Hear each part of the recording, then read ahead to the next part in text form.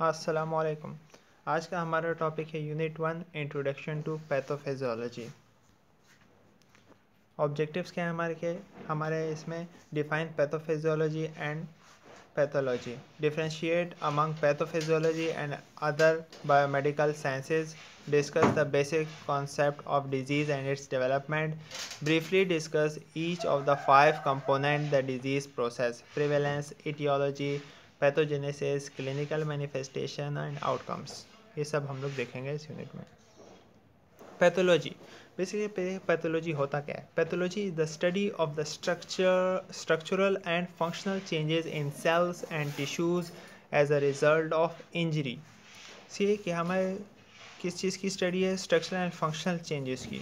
हमारे बॉडी का स्ट्रक्चर और जो इनका फ़ंक्शन है, जो कि हमारे सेल्स और टिश्यूज़ जिसमें हमारे स्ट्रक्चर क्या चेंज हो जाए स्ट्रक्चर एंड फ़ंक्शन तो जो हमारे चेंजेस हो जाएँ सेल्स और टिश्यूज़ के अंदर एज रिज़ल्ट जो हमें इंजरी की वजह से तो उसको हम लोग पैथोलॉजी कहेंगे, यानी कि हमारे स्ट्रक्चर या फ़ंक्शन में कोई भी इंजरी होगी या कोई भी हमारा सेल या टिश्यू डैमेज होगा तो उसको पैथोलॉजी की कहेंगे, क्योंकि ये study of structure and function changes in cells and tissues है। कि सही है कि जिसमें हम लोग सेल और टिश्यूज़ की स्टडी को देखते हैं कि उनके अंदर क्या चेंजेस आते हैं। Pathology is a branch of medical science primarily concerning the cause, origin, and nature of disease. Body tissue, blood, and other bodily fluids are analyzed to assist medical practitioners in identifying the cause and severity of disease and to monitor treatment. Pathophysiology. Pathophysiology क्या है? Is basically combination of pathology and physiology that is structural and functional changes at a cellular and tissue level that impact the entire body सही है? Pathology का मतलब हमें पता है कि हम लोग सेल्स और टिश्यूज के स्ट्रक्चर एंड फंक्शनल स्टडी करते हैं कि जिसमें अगर उनकी इंजरी हो जाए तो उनका क्या प्रोसेस होगा? और फिजियोलॉजी मतलब वो किस तरह प्रोसेस होती है? और ये फंक्शनल चेंजेस किस हमारे हमारे सेलुलर और टिश्यू लेवल पर जो कि हमारी पूरी बॉडी को इम्पेक्ट करती हैं।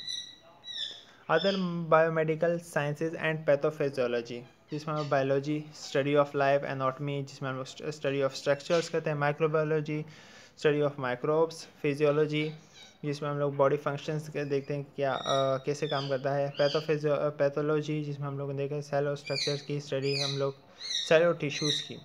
केमिस्ट्री हम लोग केमिकल्स करते हैं मॉर्फोलॉजी और हिस्टोलॉजी हम लोग आगे देखते हैं। हिस्टोलॉजी क्या होता है? Histology is a branch of anatomy they deal with the minute structure of cells and tissues which are discernible with a microscope. Pathophysiology builds on an undertaking of the basic structure of cells and tissues. Morphology. Histology क्या है? एक anatomy की branch है, जिसमें हम लोग देखते हैं सेल्स एंड टिश्यूज़ को। स्ट्रक्चर किसके देखते हैं हम लोग? सेल और टिश्यूज़ के, जो हम लोग देखते हैं कि वो किस तरह बेसिक स्ट्रक्चर उनके हम लोग देखते हैं और ये pathophysiology buildup understanding of the basis of structure and cells and tissues morphology क्या है? Morphology is a branch of biology that deals with the form and structure of animals and plants कि जिसमें हम लोग क्या कहते हैं?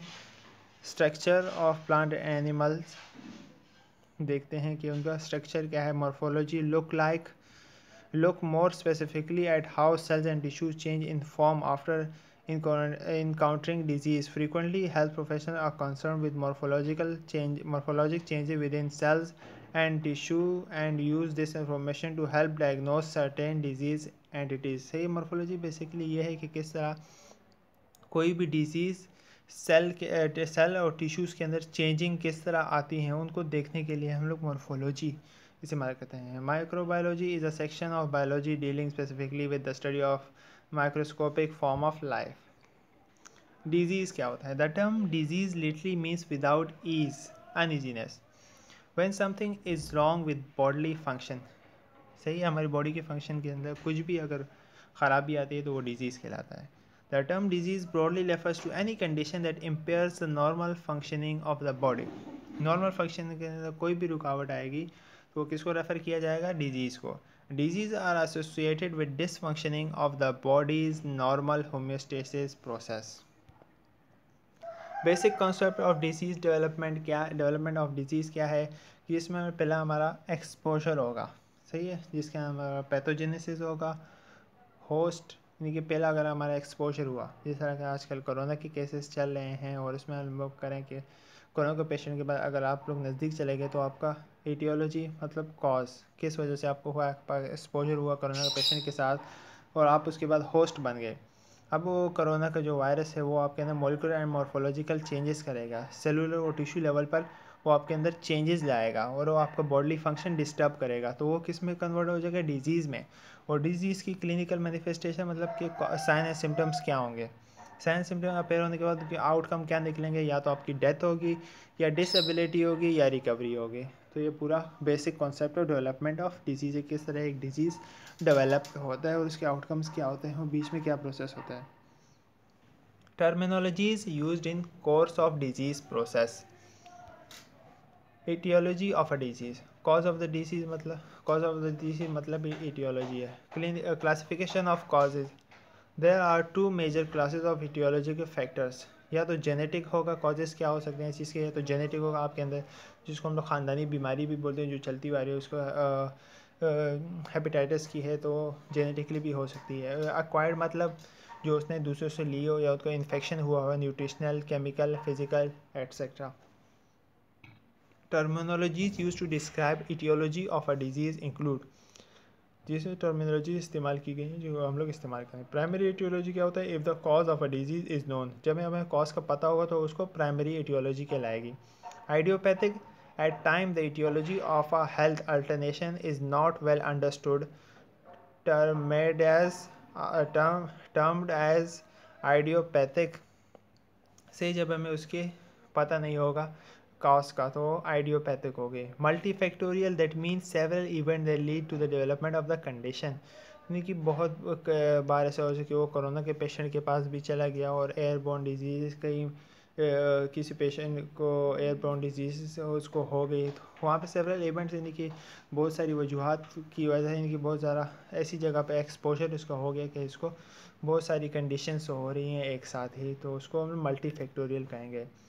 फिर hydrogenic illness are the in in advent advertent result of medical treatment medical treatment की वजह से अगर उसके अंदर कोई बीमार हो जाए या कोई और उसको मसला क्रिएट हो जाए तो वो भी हाइड्रोजेनिक इलनेस कहलाएगा।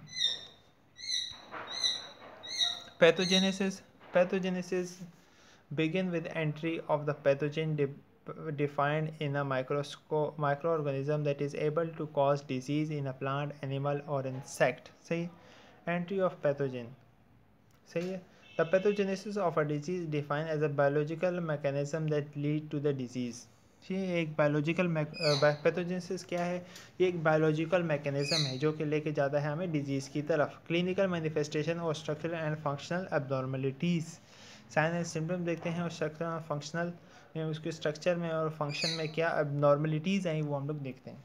The chain of events leading to dead disease due to series of changes in the structure and और the function of a cell tissue organ से कि वो इवेंट्स यानी कि एक के बाद एक इवेंट होता है सीरीज़ चल रही होती है, यानी कि पहले उसके स्ट्रक्चर में मसला आता है फ़ंक्शन में मसला आता है, फिर उसके बाद cell and organ cell tissue organ में।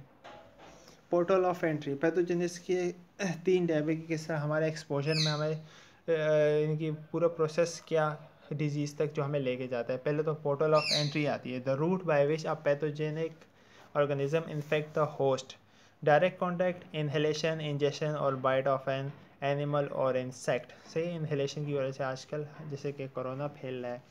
Spread of infection is facilitated by the ability of pathogen to spread through lymph and blood and into tissue and organ where they multiply and cause disease सही है spread of infection है कि वो हमारा pathogen हमारे अंदर आ गया है। अब वो हमारे लिम्फ में जाएगा ब्लड में जाएगा टिश्यू में के अंदर जाएगा ऑर्गन को हमारे अफेक्ट करेगा, उसको मल्टीपल मल्टीप्लाई अपने आप मल्टीप्लाई करेगा और डिज़ीज़ कॉज करेगा। The incubation period the time between exposure to the virus and the appearance of symptoms जिसमें हम लोग देखते हैं कि इंक्यूबेशन पीरियड बेसिकली वो है कि हमें हमारा एक्सपोजर उसके साथ हो गया है सही है, हमें कोरोना हो गया है, लेकिन उसके सिम्टम आने तक का हो गया हमें, और सिम्टम आने तक के पीरियड को इंक्यूबेशन पीरियड कहा जाता है कि जब तक हमें सिम्टम नहीं आ जाते, उससे पहले इंक्यूबे उससे पहले का टाइम को इंक्यूबेशन पीरियड कहा जाता है factors influencing pathogenesis. In infection by pathogens is influenced by several factors. However, the few important one include सही है कि जिसमें हम देखते हैं कि पैथोजेनेसिस की चेन को किस तरह फैक्टर्स अफेक्ट करते हैं। Infectivity ability of the pathogen to invade and multiply the house infectivity मतलब कि यहाँ पे जो पैथोजन है वो इन्वेड अपने आप को मल्टीप्लाई नहीं कर सकता होस्ट के अंदर। Virulence are term which refers to the degree of pathogenicity of the microbe. Hence, the determinants of virulence of a pathogen are any of its genetic or biochemical or structural features that enable it to produce disease in a host. कि जिसमें वो uh, के अंदर disease cause करता है Toxigenicity, a factor important in determining a pathogen's virulence such as hemolysin, leucidicin and other exotoxins and endotoxins. Hemolysin क्या करता है destroy erythrocytes, white blood cells, and leucidazine destroys leukocytes, white blood cells. Both are product of streptococci and staphylococci. Immunogenicity the ability of pathogen to induce an immune response क्योंकि immune response को suppress करते हैं morphological changes क्या आएंगी the morphological changes refers to the structural alternation in cell or tissues that occur following the pathogenic mechanisms The structural changes in the organ can be seen with the naked eye, or they may only be seen under the microscope. Morphological changes, हम लोग tissue की जो हम लोग बाहर skin को अगर हम लोग नेक आई नेक आई मतलब खुली आँख आँखों से भी हम लोग देख सकते हैं, और हम लोग माइक्रोस्कोप से भी उसको देख सकते हैं, अगर वो सेल्स और टिश्यू लेवल पर हो क्लिनिकल मैनिफेस्टेशन मतलब कि उसके साइन एंड सिम्टम्स क्या होंगे The morphologic changes in the organ influences the normal function of the organ by, do, by doing so they determine the clinical features, symptoms and signs that can be observed to diagnose a disease जो कि हमें क्या करने के काम आता है diagnose disease कि उसको डिज़ीज़ मालूम करने के काम आते हैं हमारे साइंस सिम्टम्स या उसको क्लिनिकल मैनिफेस्टेशन कहा जाता है such as fever sneezing cough clubbing redness jaundice मतलब पीलिया साइनोसिस मतलब साइनोसिस मतलब साइनोसिस मतलब ब्लू स्किन यानी कि जो उसका रेड ब्लड सेल्स यानी कि वो ऑक्सीजन में उसके मसला आएगा। उसकी वजह से यानी कि जो, जब उसको ऑक्सीजन नहीं मिलेगी तो हमारा जो रेड कलर होता है ब्लड में वो हमारा किसकी वजह से होता है? ऑक्सीजन की वजह से। जब ऑक्सीजन उसको नहीं मिलेगी तो उसकी ब्लू स्किन हो जाएगी तो वो साइनोसिस कहलाएगा। आउटकम क्या होंगी? द कॉन्सिक्वेंसिस ऑफ़ डिज़ीज़ और end of the disease is known as outcome which में any of the following from etiology सही है? कंप्लीट रिकवरी हो सकती है। आउटकम क्या हो सकते हैं? Complete recovery recovery with disability या death prevalence prevalence is the number of people in the population who have a particular disease at a given point in time और period It is determined by dividing the existing number of cases by the population at risk for development of the disorder during the same period. Prevalence rates always are reported as proportions. जैसे कि example का simply उसको prevalence देखा जाए कि cases कितने hundred हैं और हंड्रेड के बाद हम लोग हैं और केसेस पर वन लैख सही है यानी कि एक लाख में एक लाख में से हंड्रेड केसेस हैं यानी कि एक लाख किस पर हैं थ्रेड पर हैं कि उनको भी हो सकता है कि उनमें से भी कुछ हों, लेकिन केसेस कितने? हंड्रेड हैं। The main difference between pathophysiology and pathogenesis is that pathophysiology describe the physiological process associated with a particular disease और injury where the pathogenesis describe the development of the disease pathogenesis क्या कहलाता है? कि वो development कि disease किस तरह develop हुआ, वो बताता है और पैथोलॉजी क्या होता है, कि हम लोग उसको पैथोफिजियोलॉजी क्या कहता है, उसका फिजियोलॉजिकल प्रोसेस बताता है पार्टिकुलर डिज़ीज़ का, कि किस तरह वो इंजर्ड हुआ। सही है नहीं कि उसके अंदर इंजर्ड होने के बाद क्या क्या चेंजेस आए? वो पैथोफिजियोलॉजी में आएँगे कि सेल और टिश्यूज़ के अंदर क्या चेंजेस आई या पैथोजन ने उसके अंदर आके क्या यानी कि क्या, मसला क्रिएट किया, यानी कि क्या डिज़ीज़ क्रिएट की। ये रेफरेंसेस आप लोग इसको देख सकते हैं। Thank you hope you like it